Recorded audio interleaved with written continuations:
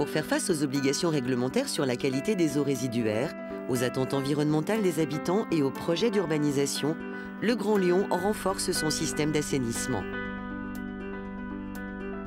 Jusqu'à la mise en service de la station d'épuration de la Fessine, les stations de Pierre-Bénite et de Saint-Fond traitaient l'essentiel des eaux usées de l'agglomération, avec un ensemble de stations réparties sur le territoire du Grand Lyon.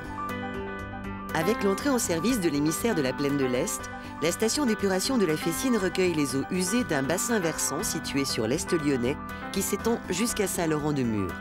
L'éco-performance constituait un critère essentiel.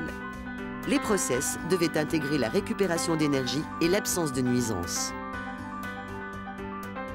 Les travaux se sont déroulés pendant trois ans, mais du lancement de la maîtrise d'œuvre jusqu'à la mise en service, près de six années se sont écoulées. Depuis la pose de la première pierre, la partie génie civil du chantier conduira à couler 30 000 m3 de béton. 180 000 heures travaillées seront décomptées.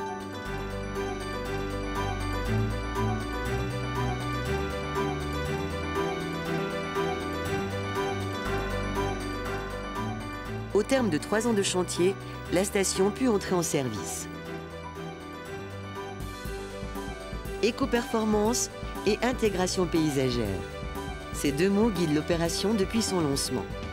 Cette station d'épuration du Grand Lyon bénéficie des équipements qui lui permettent de récupérer la chaleur des eaux usées. Les gaz produits par la digestion des boues sont utilisés comme source d'énergie. Des panneaux photovoltaïques produisent de l'électricité revendue à EDF. Quant aux toitures végétalisées des bassins d'aération, elles fondent la station d'épuration dans le paysage et absorbent du CO2. Une plateforme de recherche installée sur le site est connectée à la station.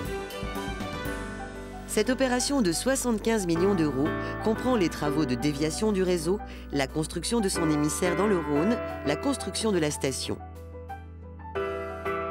La station d'épuration de la Fessine rejoint Aqualion, la marque du lien entre le développement durable et l'essor de la métropole.